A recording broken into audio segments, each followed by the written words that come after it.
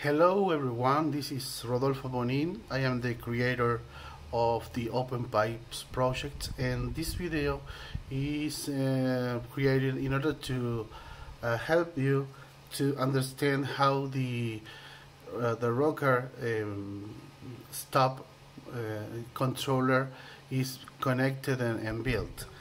And first of all, you have this. This is a controller. Uh, it uh, has the ability to control uh, up to 16 buttons per uh, connector. And it also commands the RGB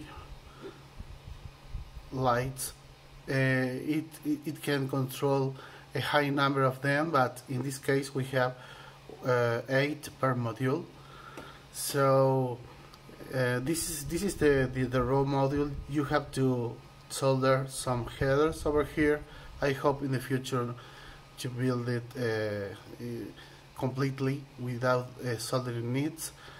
And uh, I won't uh, dig into details of the controller but uh, as you can see over here uh, it accepts an Arduino Pro Micro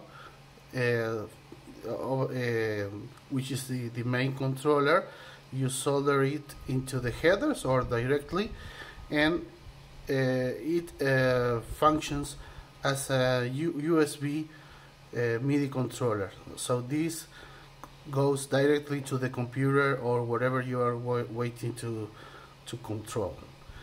Okay this is from the, the part of the controller.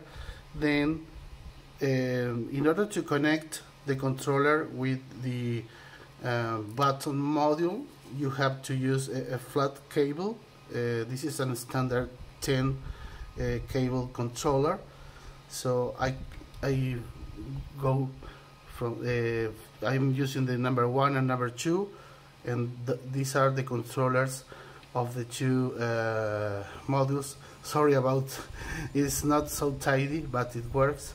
So on the other side of the wood I have my my modules.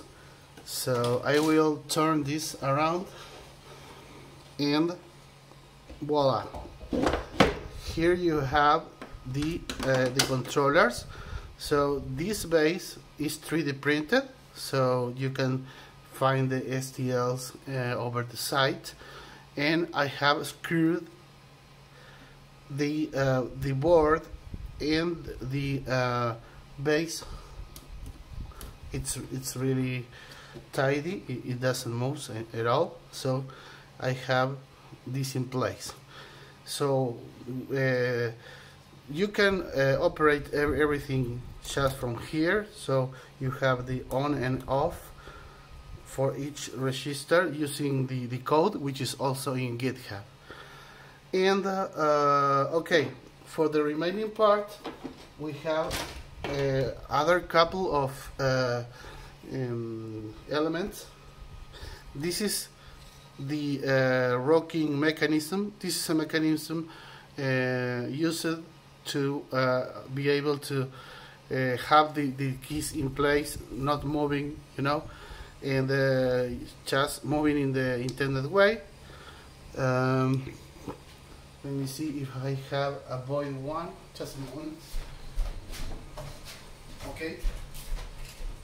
This one this is the the 3d printed part which will be um, uploaded soon. So uh, the the idea is you get the all the uh, the buttons and they are clicking over here and they are ready. You can use a little bit of, of glue and uh, in the future they will probably clip much uh, much more tighter so you won't need any glue but maybe uh, like a little drop of, of glue could do. Then uh, you you, you screw all the the the, the, the boards have little holes over here in, in the same place as this component. So you just screw this over the board or maybe like a drop of glue over there if you don't, don't have the right uh, elements and after that you will get this setup. Uh, it's not complete but you you can get the idea so over here you get this. And then you you just put the the cover I put some some good laminate over the printed part to make it prettier. So you go this way and the module is ready to be operated. And this moves a little bit because I haven't screwed the components over there but after they are screwed they are really tidy and it feels pretty uh, like uh, the real product. So this is for the uh, assembling of the rocker modules I will be producing more uh, videos in the future. Thanks for your, your attention and more information at openpipes.org